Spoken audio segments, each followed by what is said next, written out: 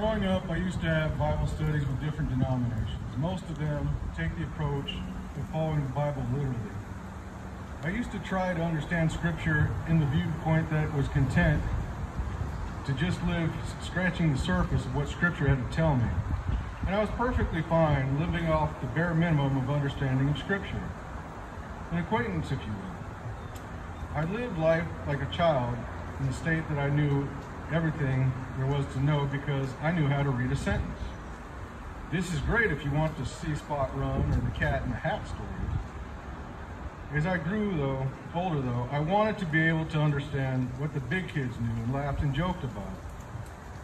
What what did parallel or acute mean? What was a parable or communion? It was like I was stuck in Sunday in Sunday school in the first or second grade, as a teen, and even into the young adult years. I can equate this also to the following orders in the military when in basic training you follow orders without question, react to situations in almost a robotic mind frame.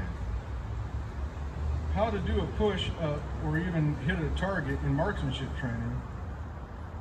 At first, we just do push-ups on our knees and then moved on to on our toes, and then we learned to be able to vary the stance and for our push-ups and focus different mus muscle groups in different areas.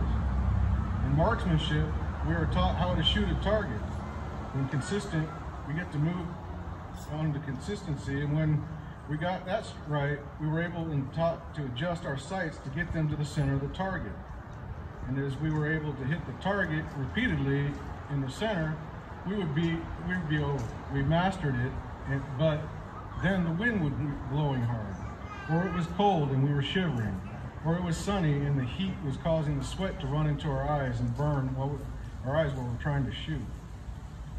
We had to learn in our own way to compensate for those obstacles. I was a mechanic in the Army.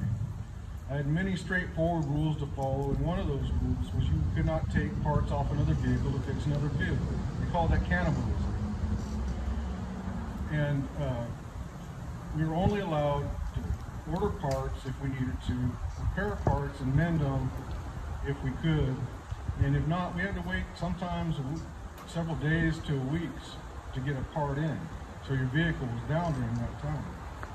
Even if it was something to be a simple task, still, the government, like most things, most agencies, they wanted it yesterday. And the system is designed to make it difficult to do a simple task. One day I reported to what was to be my last duty station, and they had no non-commissioned officers in the motor pool. My last unit had just deactivated, and my previous shop foreman and I had just arrived. We get there to find out that out of 12 fuel tankers, they only had four that were functioning properly. So I asked why the tankers were broken for so long. I was told that they could not figure out how to replace the alternator belts on the pony engines, which are the engines that supply the pump the power to pump the fuel to the vehicles. Well, there was a step-by-step -step instruction on how to do it, and even instructions with pictures. But the pictures failed to show that the belt has to pass around a hard rubber piece that appears to be solid and part of the metal that surrounded it. And since my first unit was similar and had these types of fuel tankers, I knew I knew due to the experience of struggling for a few hours how to change the belts because the instructions assumed you, you would know that the pieces were, were not solid. So in two hours, we had one tanker that needed a different part. The rest of the tankers that stood broken for weeks had been fixed within a couple hours. I was talking with a few people the other day, and they asked a question, and I answered it in my more mature knowledge of Scripture than when I was a child. They told me that they were used to less liturgical and literal interpretations of the Bible, and that was that what I had said they had been struggling with the understanding and that when they asked their pastors the subjects were avoided or they were unable to answer them. They said they're in one conversation had learned about more about Scripture than they had in all their lives at this point.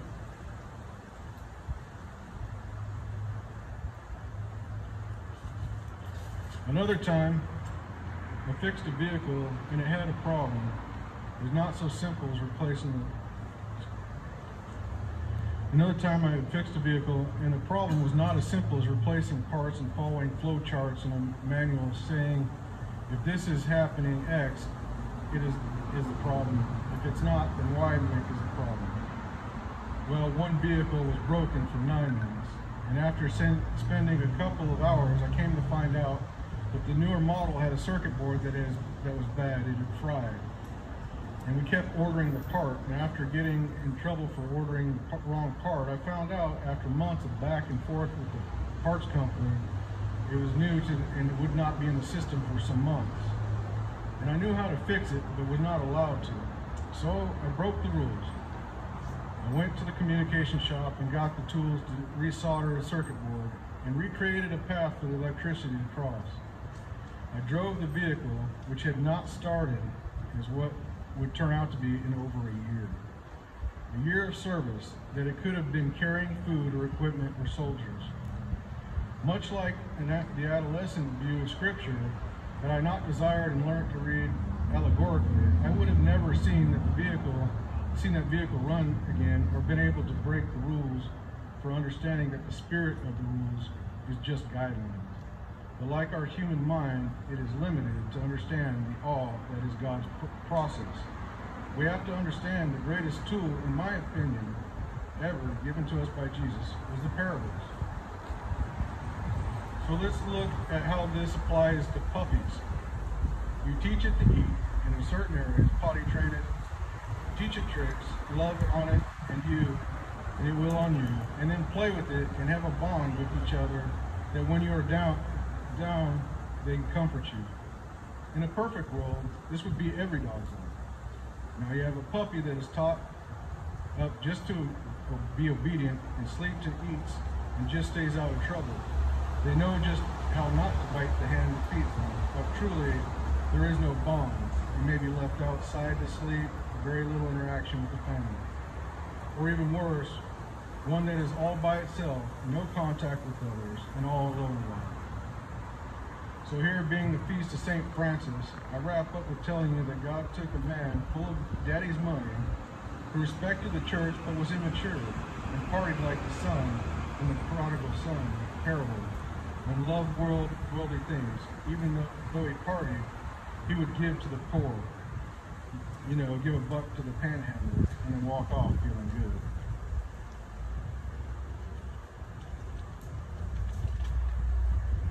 God saw his potential and wanted a deeper relationship with him and said, Hey Francis, go build my rebuild my church. So Francis rebuilt a chapel, and God said again, Go rebuild my church. And again, after the third time, he rebuilt a third chapel, which is he finally realized he was to be the example outside the box for being the walking true example of the gospel. He was so devout and that he feared nothing worldly, and even received the ability to speak to animals, and would preach to them, as he knew that they were all God's creation and loved by him. Now, that is a far cry from look at that cat or that dog to being able to have loving relationships with that same cat or that dog. I don't know about you, but I would rather not just go to the animal shelter and pet an animal and leave and leave. I would want to go and take it home and develop that bond, deeper love and passion that many of us believers or childish view believers do not possess. I pray that all will someday. And much like Christ and St. Francis, we need to ensure that during these tough times that we enlighten the simplistic but deepen understanding of what kind of relationship God wants with us, and to maximize the harvest of the vineyard and to try to save as many puppies, I mean people, I mean grapes we can.